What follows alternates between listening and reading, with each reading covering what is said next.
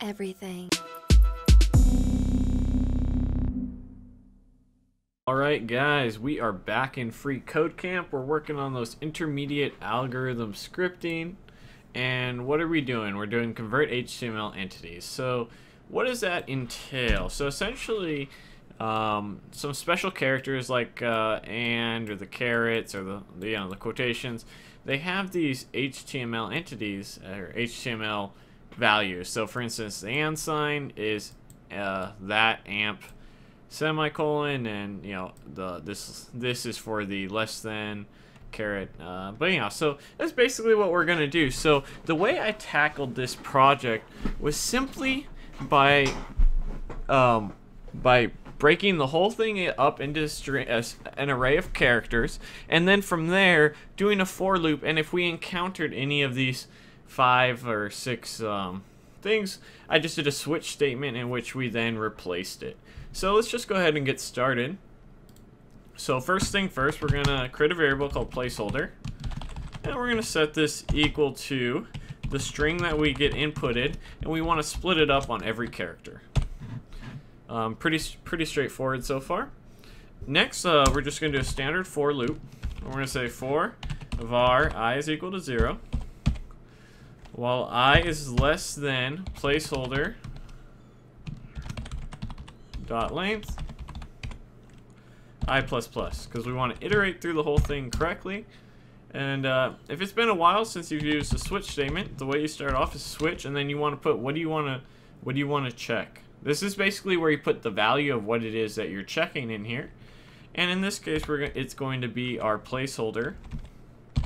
The the current value of our placeholder i and then a colon and now what so uh, next we need to do our case cases. So the case is where you say, look, if it's this value, do some stuff. So let's uh, just do what, let's see, what was the first one? So this first one is to replace the uh, ampersand, if I remember correctly, is the, the correct name of that. But the and sign.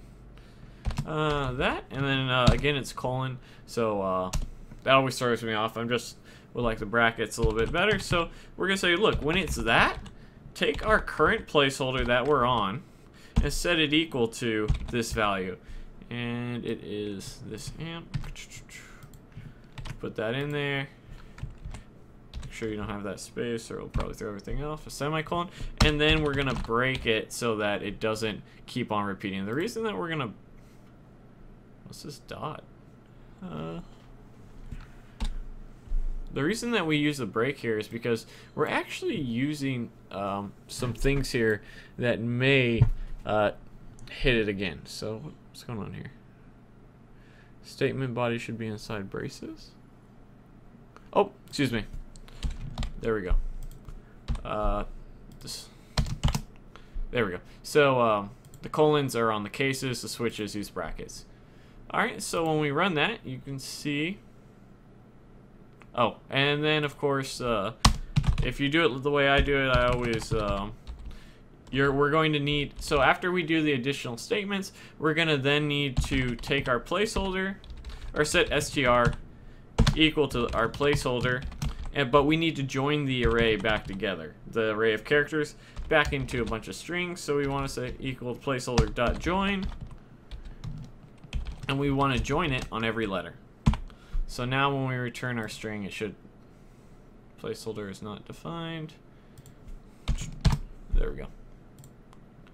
Cool. So you can see right here, for, that's the first thing. So let's just go ahead and start uh, knocking out the other cases. So our next case, if uh, according to my notes here, is the less than sign. So again, if you want, just do a break before you forget. And then we're just going to say, look, our current placeholder, you want to do it i, is equal to, and in this case, uh, just go ahead and copy that over. I'm not sure why that what that dot is.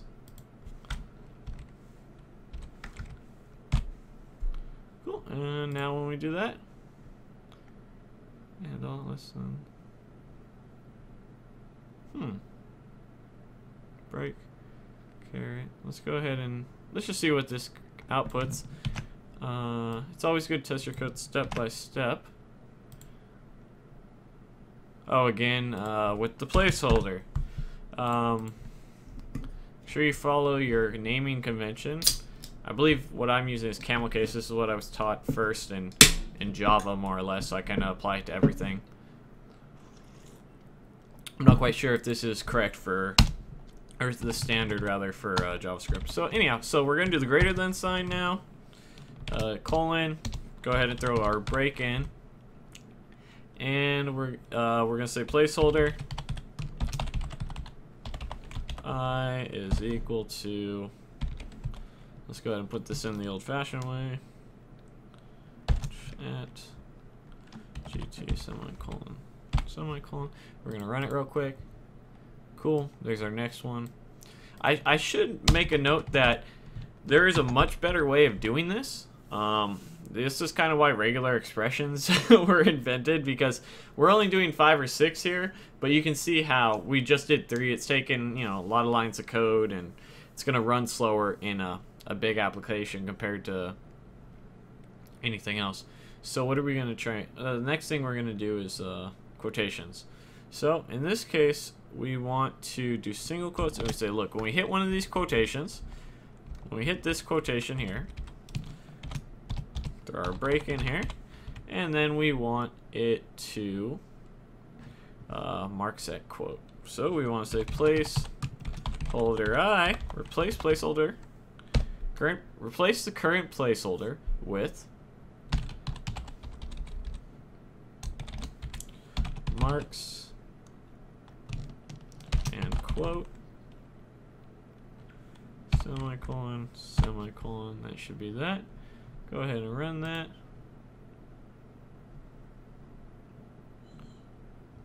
let's see maybe must uh, marks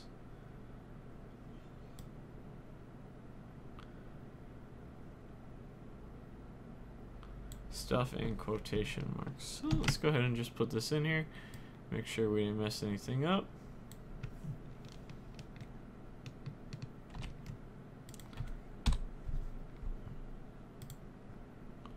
Uh, let's see, this may be it right here.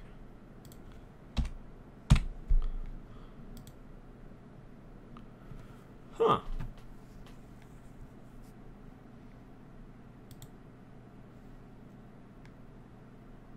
Oh, it's not this. You take out this marks. I don't know why I have marks in here. End quote. There we go. So, uh, just the end quote. And then last but not least, we have the apostrophe. So case. Put the colon. We want to break it. Um, in this case, we actually need to use uh, the double the double quotes to distinguish here, or else it doesn't work. So we're gonna do placeholder i is equal to at apos semicolon semicolon and that's that so um, again you could do this with regular expressions and then filter it and um, basically, uh, you know, replace whatever value that hits that regular expression. But for this, this also works. So um, regular expression is a better way of doing it, but hey, sometimes it's just about getting your code to work. So let's go ahead and comment our code because this is uh, we're gonna I'm probably gonna use this later on in life, and even so, it's just good good practice. So a subscriber today brought it to my point that I've been putting my comments underneath my code which may be confusing because I, I believe the standards put it above. So for now on, I'll be putting the, the comments above. Um, just something to think about, you know, always trying to improve. The little things really do matter in programming. So here we're going to split strings, string into character array, array, um, iterate through character array check current value of character. And that's what we're doing in the switch. And then we'll do, we'll just do a general one here. If if case is met, replace with HTML entity. And then finally down here, we want to join character array back into string. And that's that. So I hope you guys found this helpful.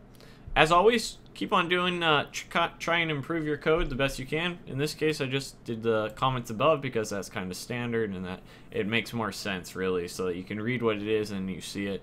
So I hope you found it helpful. I'll see you guys in the next video. Thanks for watching. Don't forget to like and subscribe and thumbs up if, you, if uh, which is the same thing as like. I'll see you guys next video.